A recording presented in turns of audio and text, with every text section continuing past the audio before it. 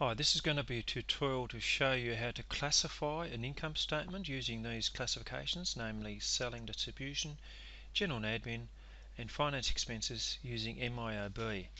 Let's have a look over at MYOB. Here we are at the MYOB Command Center. It's the accounts list that we've got to look at. And here we've got the expenses. Now you'll see that they're all jumbled up and what they need to be is to be classified and we need to put in the headings. The three headings, namely selling, distribution, general admin and finance. So how do I put in a header? Now what I'm going to do is to have my um, selling and distribution expenses, and I've only got one here, starting at 6,100. So let's do that. So I go to the plus sign up here. It's obviously going to be an expense, but I'm going to put in header here. That's the trick. I'm going to have that um, at 6,100 because that's going to be the first heading that I see. I'll put in selling and you'll see in a minute there'll be that selling thing and what I need to do is to um, classify the advertising with the selling so I'm going to allocate a number close to it. So what I do there is to go to the advertising account and just put in a number that's close to it. And what's it done here is that um, it's been quite smart in that it thinks that advertising is part of selling exactly what I want. Okay so I've done that pretty well. My next classification is going to be general and admin expense so I go to new again. Header account expense I'm going to have 2000 um, I'm going to call it general and admin expenses.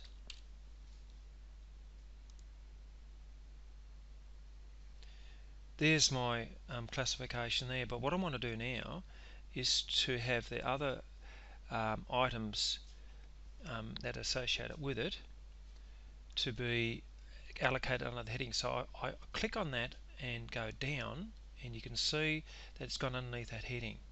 Okay? Same with the depreciation.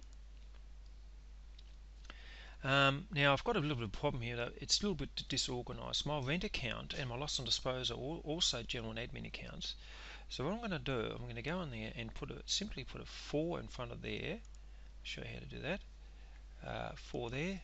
Um, if I wanted to be fussy and have them in, in, in order underneath the general admin then that's what I would do. You can see that went there.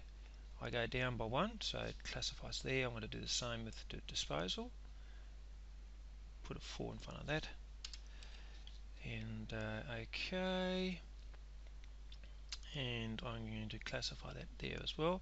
I've only got bad debts to go as a finance expense. I'm going to start finance expenses at 65000 so I'm going to put in a new header account. Call it finance. Oops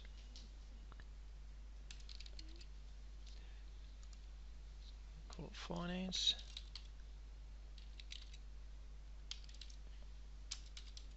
There we are.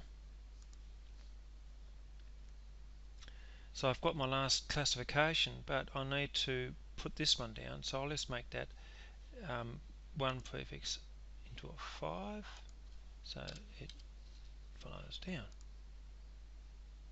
so what I've done here I've got my selling expense my general and admin my finance. So now I've got to classify it as I want. If I wanted these in better order then I'd have to order the the, um, the numbers accordingly okay? What I'm going to do now is to generate a report. There we are. So you've got selling general and admin and finance and it's nicely organized like it should be in any classified uh, financial report, namely the income statement. Hopefully that's been useful to you. Um, if you have got any questions, get onto YouTube.